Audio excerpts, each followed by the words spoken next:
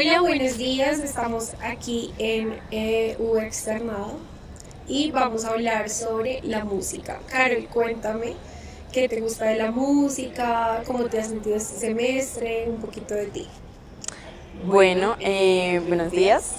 Yo en mi caso escucho todo tipo de música. Me encanta cualquier ritmo, que creo que eso depende de mi estado de ánimo. Eh, pues según lo que he visto en tus redes sociales, creo que no escuchas música que no sea cristiana, pero siempre he tenido esa duda. ¿Escuchas de todo o solamente que sea cristiana? Mm, bueno, Carol. Ah.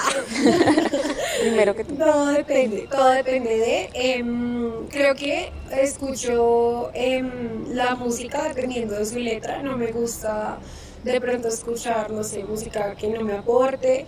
Eh, sin embargo, digamos, hay canciones también, pues, que no necesariamente son cristianas y me gusta, tipo Carlos Vives, Sebastián Yatra, eh, no sé, pero siempre eh, me gusta primero ver la letra. Ok. Ay, es cuando tú haces otra pregunta. Bueno, cuéntame, em, eh, no sé, eh, algún momento, no sé, ¿has ido a alguna iglesia? Eh, te cuento que sí, toda mi vida, realmente. Eh, de chiquita, pues, como en la iglesia cristiana, en Villavicencio, se llama Asamblea de Dios. Y ya cuando fui más grande, que después de bautizarme, fui profesora de niños, en grupos familiares, todo ese proceso. Y en Bogotá voy a su presencia.